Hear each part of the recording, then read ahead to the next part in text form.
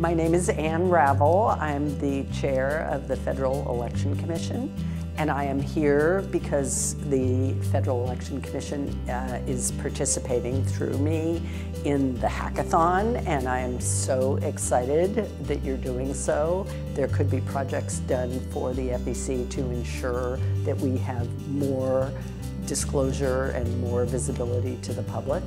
Well, I saw a couple of things that I thought were amazing. Number one, there are a few people who are actually working on our challenges and they're really excited and they're ready.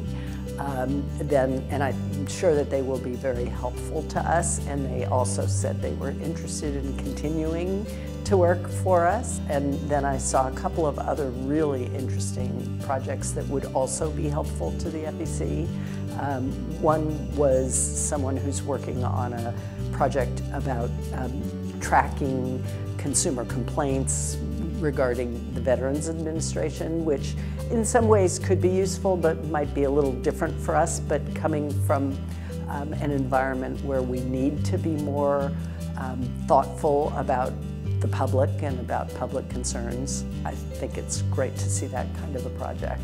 And finally, uh, the Madison project that um, involves uh, taking a document, a proposed draft document, hopefully, and manages to be able to get a lot of public comment on it that's thoughtful and people can respond to one another and make changes to the doc, propose changes to the document, that would be ideal for the FEC.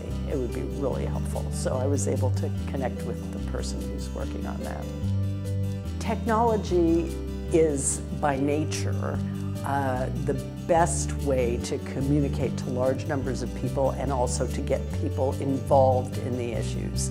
And uh, this is important for Congress, but it's certainly important for the Federal Election Commission, which has as its mission ensuring public trust in government.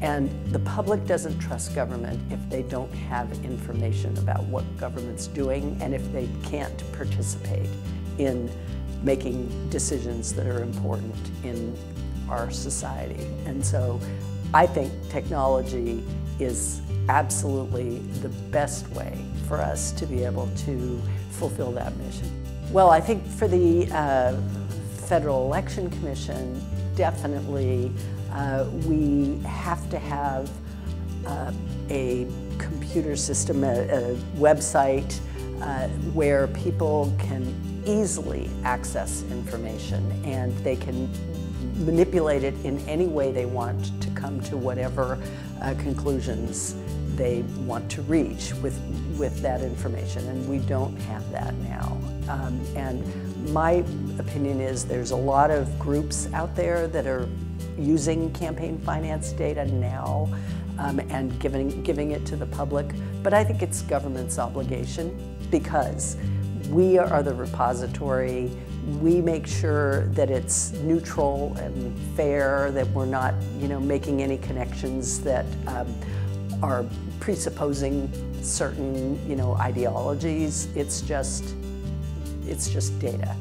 And so that is, as far as I'm concerned, is really important because, as I said before, I think the American public actually cares about campaign finance very much, but they don't know how to get the information. They don't they're not able to access it easily. And so they are reliant on other people providing it to them.